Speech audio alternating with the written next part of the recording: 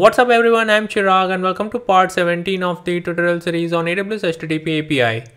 So in this video, we are going to learn about exporting the API configuration to OpenAPI 3 definition and then we will also have a look at the re-importing the same configuration back into the API gateway.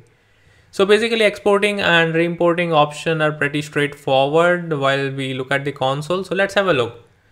So here I have this API that is HTTP API and I want to export the OpenAPI 3 definition of this API. So to export that we need to click on export under develop. So click on that.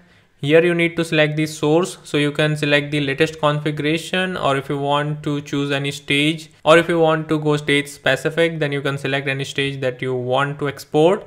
So here I will say latest configuration and then here we have the option that is extensions. So it says whether you want to include API gateway extensions or not.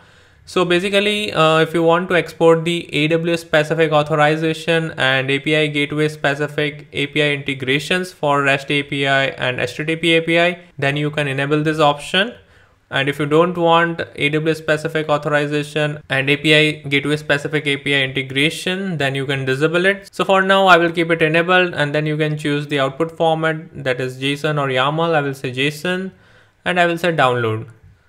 So this was pretty straightforward. This is how you can export an OpenAPI 3 definition. Now let's have a look how it looks like so I'm going to simply open it in Sublime. So here it is. This is how it looks like. This is the JSON export right? And here you will be able to see the uh, AWS specific authorizer configuration. Now if you disable that option then you would not be able to see this option correct? So you can have a look. Let me also show you that. I will disable it and I will say download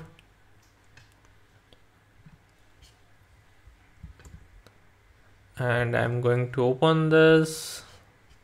Let me open side by side. Here it is.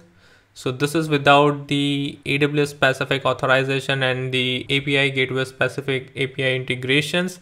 Correct? This is how it looks like. So here you would not be able to see the authorizer configuration. Correct? So basically uh, this is with and without API gateway integrations right? Or the extensions to be specific correct? Now what we are going to do is now let's say we have the open api 3 definition and we want to re-import it.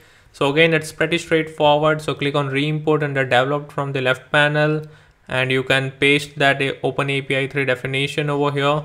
So let me copy this one. So copy and paste it over here. You can also uh, select the file by clicking on this button. And once you have the open api 3 definition configured and then we have the option for fail on warnings. I am going to keep it disabled right? So for example you want to stop the deployment or you don't want to deploy if there are any warnings correct? Then you can enable that option but i will keep it disabled and i will say replace api and this configuration would be deployed now okay? Now to check that we can click on stages. Let's select the default stage. And here you you would be able to see that the last updated was July 26 2021 809 p.m. right? You can compare this time with my current uh, time on the system. Okay so guys this is how you can export and re-import the open api 3 definition for the api gateway and that's all i wanted to cover in this tutorial.